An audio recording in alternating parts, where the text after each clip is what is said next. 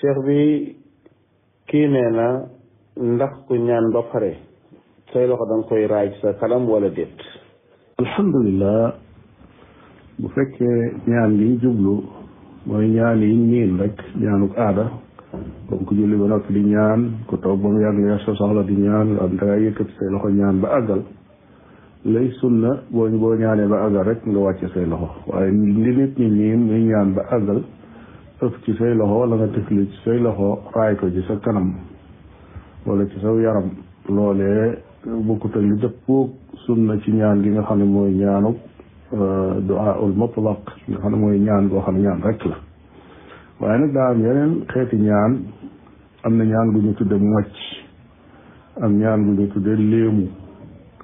bu fekkee ne day léemu mooy ci dem bay tëdd kooku yonente bi alayhi salaatu wasalaam jàngale na ne su jàngee la muy jàng ci alxuraan ba noppi ak ci léemaayam muy zikkar yi nga xam ne ñoo rot sunna su àggalee na ko ëf ci ay loxoom raay ko ci mboolem aw yaramam fépp foo xam ne loxoom jot na fa kon bérabub léemu moom foofu des na ko ëf ci ay loxo des na ko raayit ci yaram bu dee kuy mocc itam noonu bu fekkee góor ay mocc góor wala jigéen ay mocc jigéen dana jël loxoom teg ko ca yaram la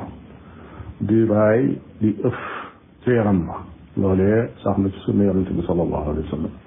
geneen ñaan gu dul googu nag gu mu mën a doon day tàllal loxoom ñaan boromam la muy ñaan bu noppee rek wàcce ay loxoom waaye leneen lu dul loola eh, da koy daal di dugal ci sudul noona wallahu taala alam